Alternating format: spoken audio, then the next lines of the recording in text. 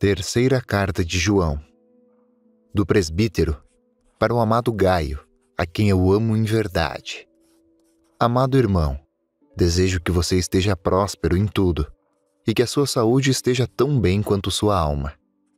Me alegrei muito quando os irmãos vieram para dar bom testemunho de sua verdade.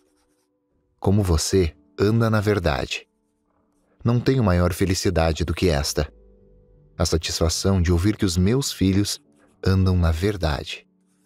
Amado irmão, você procede em fidelidade em tudo o que faz em favor dos irmãos, especialmente para com os de fora. Eles mesmos testificam isso a seu respeito, sobre o teu amor diante da Igreja. Se você encaminhar eles em suas veredas, de modo digno de Deus, você fará o bem. Pois por amor ao nome eles saíram, sem nada aceitar dos gentios. Portanto, nós devemos acolher a eles, para que sejamos cooperadores da verdade.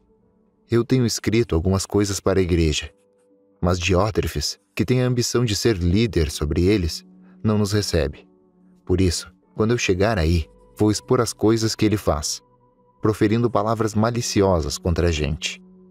E não contente com isso, além de deixar de receber os irmãos, ele proíbe os que querem receber irmãos e ainda exclui eles da igreja. Irmão amado, não imite o mal, mas o bem. Quem faz o bem é de Deus, mas quem faz o mal não tem visto a Deus. A respeito de Demétrio, por outro lado, todos dão um ótimo testemunho.